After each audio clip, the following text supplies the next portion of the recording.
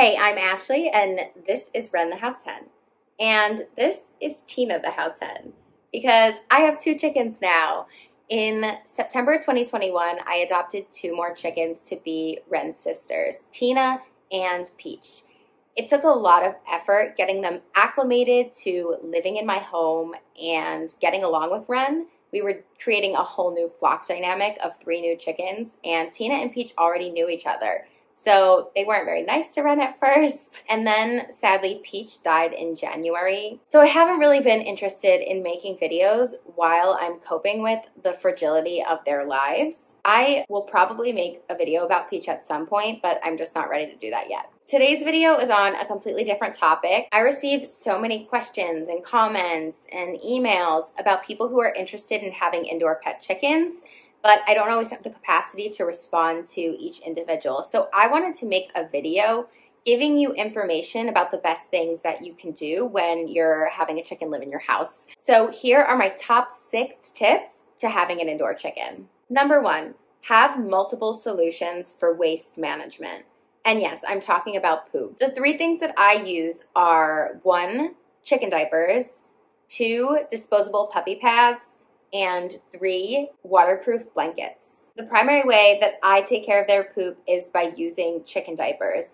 It's something that you need to change at least once a day, and you'll need to change it more often depending on how much they stink, how heavy the diaper is, if they're looking uncomfortable. Then you also have to wash the diapers. I will typically hand wash them in the sink right when we're done using it. And then when I do laundry, I'll throw them all in to get a deeper clean. I have a whole playlist dedicated to chicken diapers, so I'll include that link in the description down below. When you're using chicken diapers, you need to be mindful that the diaper isn't causing any irritation or sores on their body so you should check under their wings and wherever the straps could possibly dig along their body to make sure that it's not causing them any pain and injury. You also need to make sure that their cloaca is staying dry so I do check them to make sure that there's not excess poop buildup in their feathers on their butt. And I'll check around that area to make sure that everything looks dry and that there's no infection. The general process of changing a chicken diaper is technically easy, but it can feel stressful sometimes. Chickens are prey animals. So anytime you're going to approach them, like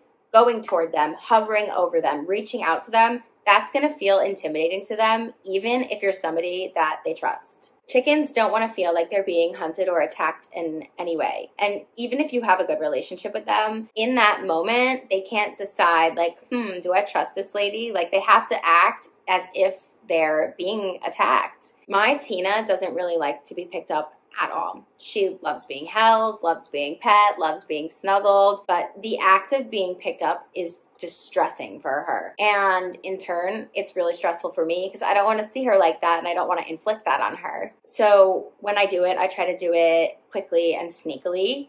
The best way is waiting until they're on the roost at night. Sometimes that's my computer monitor, sometimes that's my pillow on my bed. When they're already calm, when they're at a higher vantage point so they don't feel as threatened, um, so that it's less stressful for you and for your birds. So, like I said, it can be stressful for me, and maybe I don't always have the energy to deal with that. So sometimes I will resort to other options. So on days where I don't have as much energy, I have a large waterproof blanket laying across my living room to protect my carpet. And then I can spot clean that throughout the day. So I can just pick up the poop nuggets or I'll use a water and vinegar mixture to clean up the more sticky, slimy cecal poops.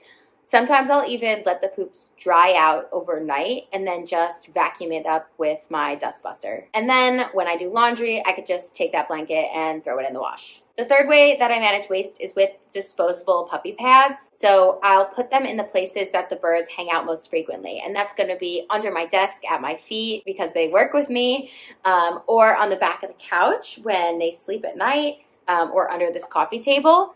Um, and then I'll just take that and throw that out. I like to leave them diaper free some nights so that they can more easily preen their butt feathers. So that's one of the occasions that I'll use the disposable puppy pads. And again, it's important to monitor their butts to make sure that it's dry and healthy and there's no infection. So you're going to come up with your own preferred method of managing waste. There are some people who don't use any of this and maybe they have hardwood floors, so they can just spot clean as they go because it's not going to absorb into their carpet. But I still recommend having multiple ways to manage the waste just in case like you're in a different mood. One thing to know is that there's always going to be accidents, so have cleaning solution available. I'll typically use a water and vinegar mixture that I'll use most frequently. And then when I have deeper stains, like say on my light gray couch, that's when I'll use something like Resolve. But one thing that you should know is that birds have extremely sensitive lungs and harsh cleaning chemicals are dangerous. So when I use that, I make sure that the birds are far away and then I'll always cover it with something just in case like I'm not looking and they try to go peck at it. On to tip number two. So chickens are super curious and they love to explore and they love to peck at the things around them. So you should keep your home free of items that they might peck at. And I know that sounds obvious, but you'd be surprised at the things that a chicken will peck at that you didn't expect. So no styrofoam. Be careful with pills and medication, things like earrings or screws or staples like anything small that could fit in their mouth. The wire that's around the bread bag or like the plastic piece of clothing tags. Any possible tiny item that they could peck at, they will peck at, which can lead to perforated intestines. It could become a blockage in their intestines. It could be a choking hazard.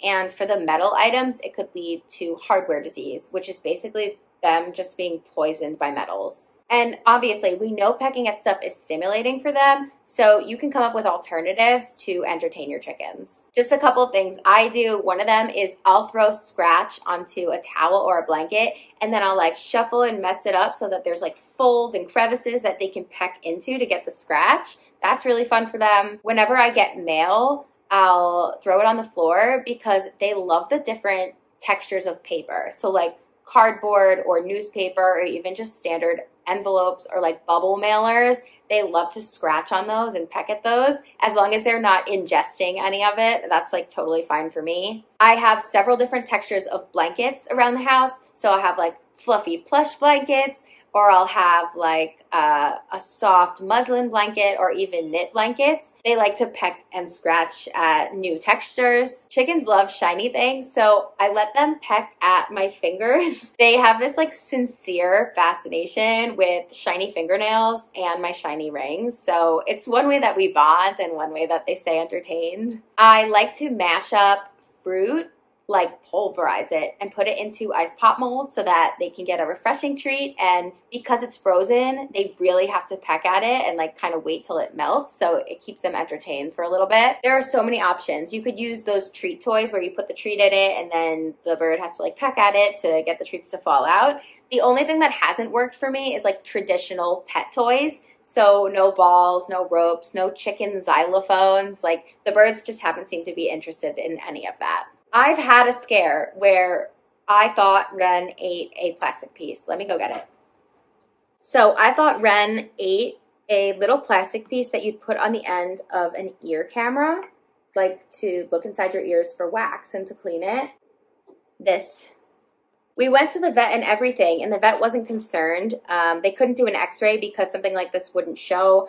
Um, but they did feel her crop and she didn't feel anything. And then I ended up finding the piece under the couch like 24 hours later. But if I was more careful while using the device, um, it could have saved me 24 hours of crying and telling my bird how much I loved her because I thought she was going to die. Number three is a real game changer for me because I hate dragging out the big vacuum that has like a cord attached to the wall and it restricts how far you can go with the vacuum. Have a cordless hand vacuum. Pick something that you can just throw on a charging dock so you don't have to worry about charging it when you need it or using batteries or again like plugging it into the wall and it restricting how far you can go with it. I can link the dustbuster that I use in the description down below. Chickens create a ton of dander, dust, chicken glitter, whatever you want to call it. It's the casing of feathers, and by removing it, it allows the new feathers to grow. They're constantly preening and doing this, so it creates dust all over the house. Almost every day, I take out the dust buster and it takes just five minutes to get all the areas that they hang out in. So I'm doing like on my desk, under the desk, under the coffee table, sometimes a little bit on the couch, and then always in my bed because they preen a little bit before they go to sleep or before I wake up. And this just eliminates all of that dust and even feathers that they're losing. So chickens go through molting periods where they they're losing a lot of feathers and this just helps keep my house free of danders and feathers. Number 4 is to keep your air clean. Chickens have really sensitive lungs, so fragrances from perfumes, candles, oil diffusers, aerosol spray cans, that's really dangerous for them. Something that is especially dangerous for them are cooking related fumes. So if Teflon becomes overheated, or you're using a self cleaning oven,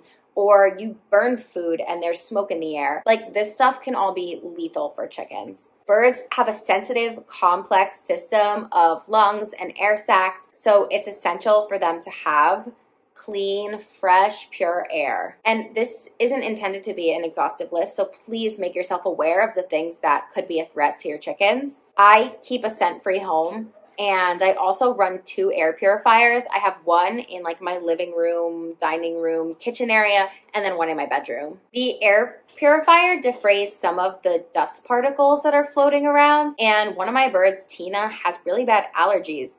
And I've noticed that the combination of using the air purifier and vacuuming up dust particles has made a difference in her breathing. Something I learned about in the last few months is the risk that chicken dander can impose on human health. And it's something called bird fancier's lung disease. Basically, those small dust particles that chickens create either through preening or even like the dust from their poop can build up in the lungs and cause severe inflammation, leading to symptoms like coughing and wheezing, chest pain, fatigue, like really painful stuff. I want to enjoy a life with them that's safe for myself and safe for them. So I'm just mindful to keep the air as dust free as possible in my home. Number five, my tip is to regard your chickens in the same way that you would a cat or a dog. I've seen resistance from people in taking their chicken to their vet. Sometimes people don't think chickens deserve the same medical care.